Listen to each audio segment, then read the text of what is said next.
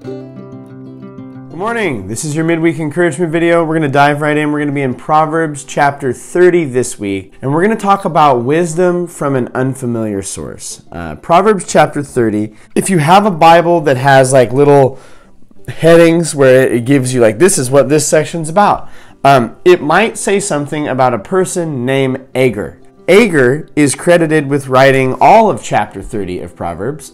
Uh, but what's weird is we're not really sure who Agur is. A lot of church tradition kind of holds that that this is kind of where he is mentioned, um, and we're not even sure where he is coming from. With this in mind, it would it could be tempting for us to say, "Well, I don't know this guy," um, or or well, he's not an, an, a known like credible uh, person in the Bible story.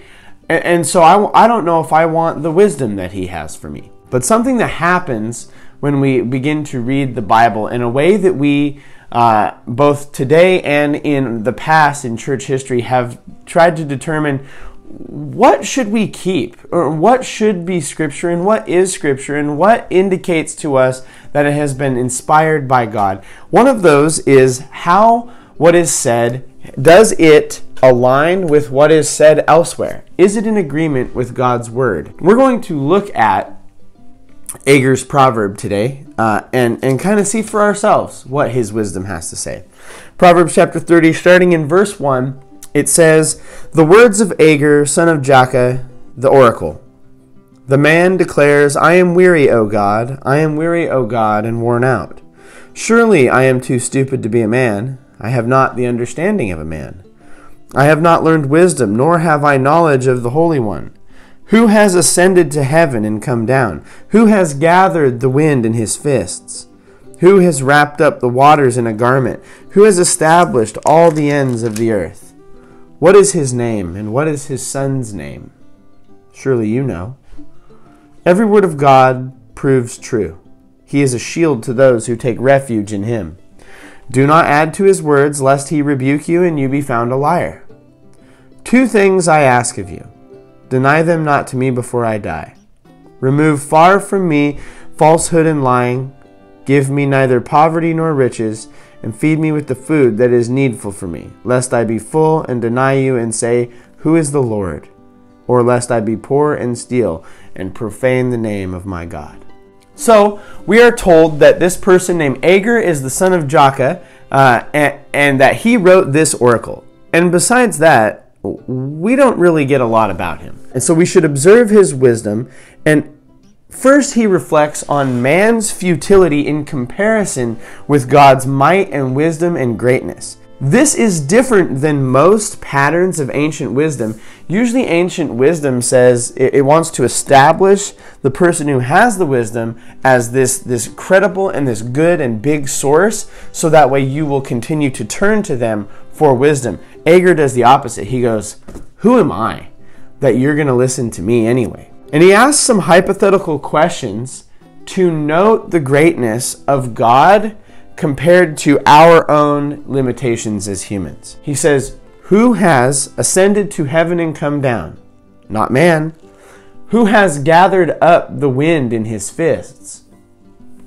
It's not men. Who has wrapped up the waters in a garment? I don't even know I don't even know how or what that means. but we can't do it. Who has established the ends of the earth? It isn't us. So Agur is the implication is is that God can and has done all of these things. And then he poses this interesting question. It is as if he's talking to us and we know that he means God, but he says, "What is his name?" Remember that recall what Moses asked God when he has that encounter in the burning bush. Who do I tell the people that you are? And God tells him, I am. And then he says, What is his son's name? Who is that? And then Agur makes this conclusion about God's word. He says, God's word always proves true, and God is a shield to those who, who rest in him. In other words, God's word proves true. And because God's word proves true, God is a shield to those who take their refuge in him. Also, he notes we should not add to God's word. Uh, do not add to his words, lest he rebuke you and you be found a liar. If we add to God's words, it's not from God, it's from us. Next, Agur issues a prayer. And what's interesting is this prayer is the only prayer that is found in the book of Proverbs. And he prays for a handful of things. He prays that God would remove falsehood from him. He prays for contentment. He prays for his needs to be met. And he prays for whatever livelihood he can have that will cause him to be able to seek after the Lord. Agur is a mysterious source of wisdom. He's a weird guy. We don't really know who, a lot about him. But the teacher includes his wisdom in the Proverbs because Agur, by his words, shows that he knows godly wisdom from any source is worth following. We as followers should test wisdom to see if it agrees with God's word. And Agur's wisdom is this God is far greater than us. God's word proves true, and we should not try to add to it. We should pray for, to God for contentment and for whatever we could get that would cause us to seek God more. And so I'm going to leave you today um, as we pray together with his prayer. Dear Lord, remove far from us the falsehood and lying that we might be tempted with. God, I pray that you would give us neither poverty nor riches, but, but uh, give us with exactly what we need to be in service to you.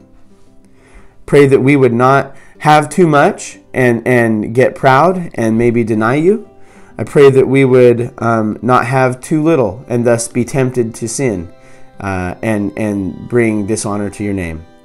God, I pray that, that you would help us to take these words into our lives today. In your name we pray. Amen. Alrighty, y'all. Regular youth group this Sunday. We will see you at 4. Love you guys. Have a good rest of your week. Bye, y'all.